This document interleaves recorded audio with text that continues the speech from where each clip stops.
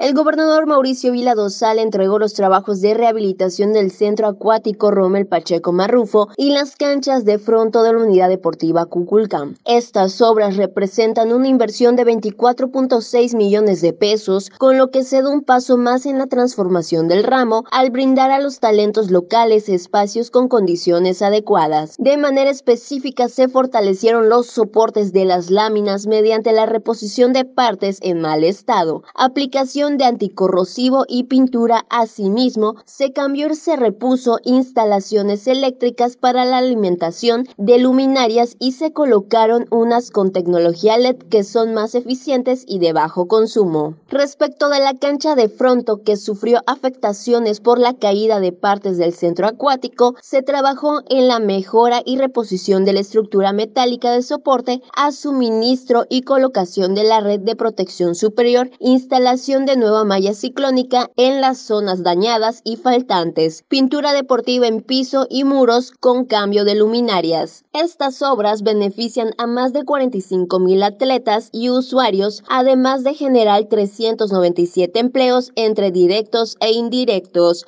Noticias Teleplay.